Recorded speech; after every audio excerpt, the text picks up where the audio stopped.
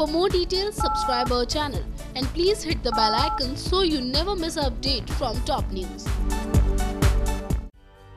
India के most controversial show Bigg Boss से जुड़ी एक बहुत बड़ी खबर लेकर हाजिर हो गए हैं जिसमें हम आपको जो बताएँगे उसे सुनकर आप हैरान हो जाने वाले हैं। दरअसल ये खबर काफ़ी दिलचस्प है। अब ये तो आप जानती हैं कि कैसे दीपक के हाथ से कैप्टन बनने की अपॉर्चुनिटी निकल जाने के बाद दीपक बौखलाए हुए हैं। और आज रात आपको यही देखने को मिलेगा। दरअसल बौखलाहट में दीपक इस बार लड़ बैठेंगे दीपिका के साथ। इससे पहले दीपक ने मेघा से पंगा ले लिया था और इन सब के बाद अब वो दीपिका से लड़ने वाले हैं। इसके साथ ही आप ये भी देखेंगे कि मेघा के बाद दीपिका भी उनको काफ़ी लताड़ते हुए नज़र आएँगी और इसके बाद दीपक भी चुप नहीं रहेंगे। जी हाँ इस बार दीपक भी बहुत कुछ बोलेंगे।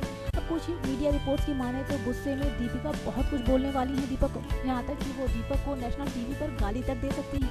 और इसके बाद दीपक भी शायद दीपिका को ये कहते हुए नज़र आएँगे कि अपने लिमिट ना क्रॉस करें।